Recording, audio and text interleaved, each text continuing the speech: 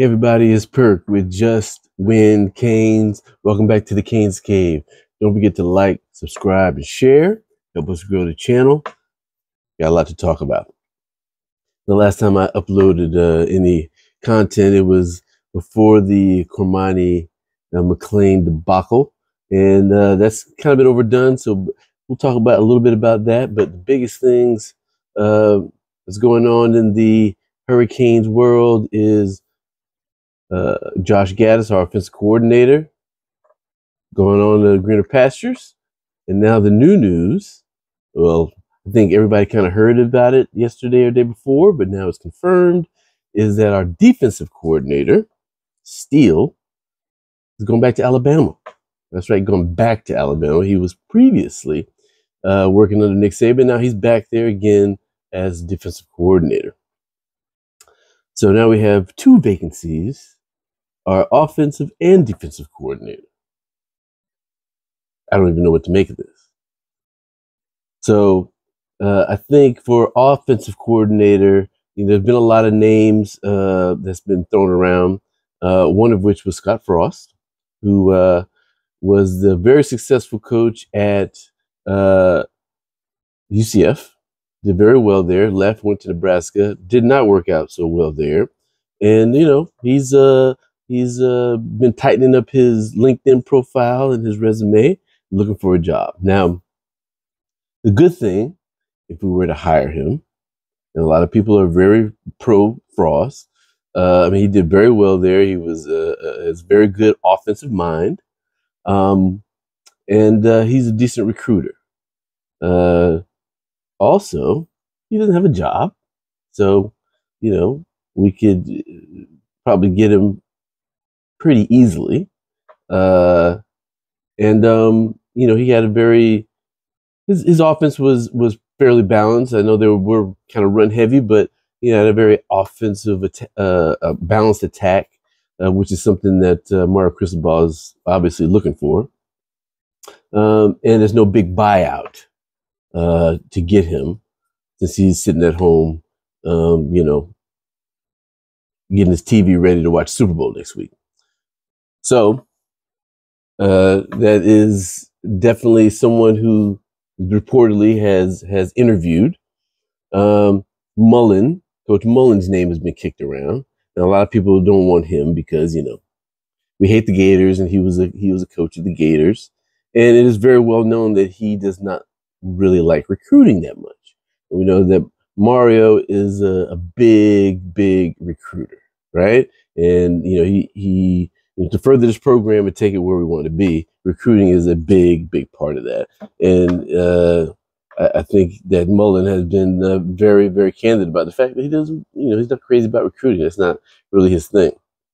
So uh, I don't know that he's on the short list, or if he is, uh, probably not the top of the short uh, short list.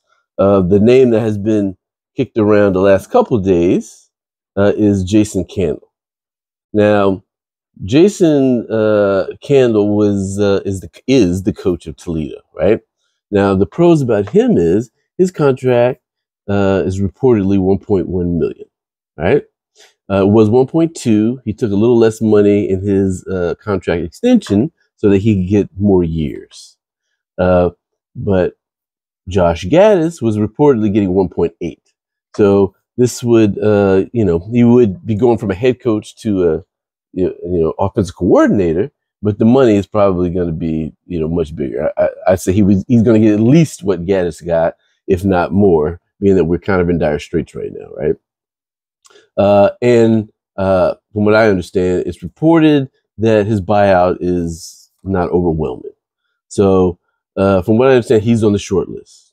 Okay, uh, so I I think you know what the the position's been officially open a little over a week now. Uh, several interviews have been done, and eh, you know that that is a a positive candidate that I think most people uh, probably would be happy with. Now, obviously, you know he's going from a group of five uh, to a power five. You know, does it translate? I think so. I mean, he's known to be offensive mind. He's known to be a good uh, developer of quarterbacks. uh, which is something we need.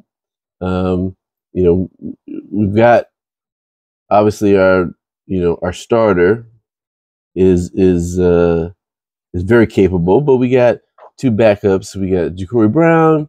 Um, we have uh, Emory Williams, uh, who need developing, right? So uh, that will probably be a, a pretty good hire. So I would expect at this point, you know, that there'd be an announcement of a hire within the next week or so, right? Now it's, it's uh, been reported that you know Toledo's uh, coach uh, is in contract negotiations with with uh, Mario Cristobal and Miami Hurricanes. Don't know if that's true, but uh, if it is, maybe maybe he is going to be our new offensive coordinator, and that's good news for going forward for the stability of the program. Might have had. Uh, uh, a, a, lot to do with us not getting some of the needs we need filled on the offense on National Signing Day. Now, if you've been uh, following the recruiting, we got a big fat zero National Signing Day. Now we had big, big uh, early signing day in December, and I think we pretty much got what 24 out of 25 of the people. Obviously, Cormani McClain uh, flipped and went to Colorado. You know, wish him the best. I think how he did it was was dirty. Um, don't like that. Uh, but I understand, you know, it's his mother that was running his camp, so really can't put all of that on him, right? But anyway, he's gone. It's a done deal. Uh, moving on. Uh, we are, have a big need in this class this year for wide receiver. Now, uh, we're loaded for the 2024 class, right? But it would have been nice to pick up a couple of wide receivers. I think we had some targets, but I have to think that because we didn't have an offensive coordinator, uh, that left a big question mark, and you know maybe some potential targets uh, didn't didn't sign with us. But you know we did well uh, as far as uh, early signing day. We we we picked up some solid guys in the portal.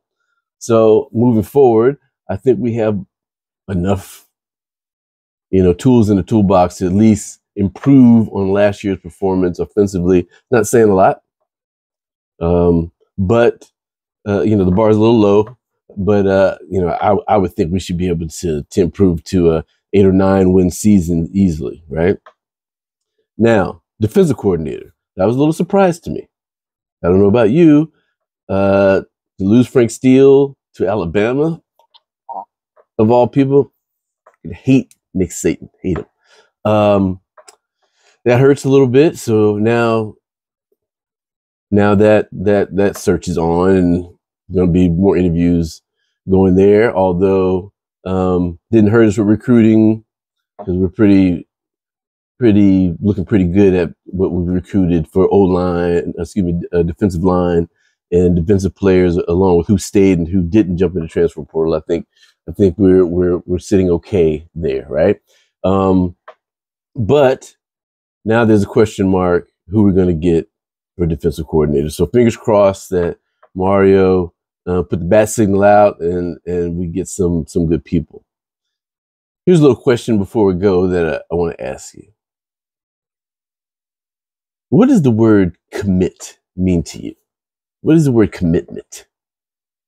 It doesn't seem to me like it has the same power that it used to. It used to be a commitment meant something solid, all but ink on the paper. In the recruiting world, commitment uh, doesn't seem to mean much of anything. It just means that uh, I intend to come play for you. I, I intend to come play for your team. And I realize that, you know, we're dealing with 18, 19 year old, you know, who, who, who liable to change their mind. I get that. Uh, now with NIL, you know, money is the issue. Uh, you know, and this is very much a business decision now for these kids. But I think we should stop calling people who intend to come to our school, uh, to come to, to play for Miami and, and other schools. I think we should stop using the word commit. They're not a commit. They haven't committed.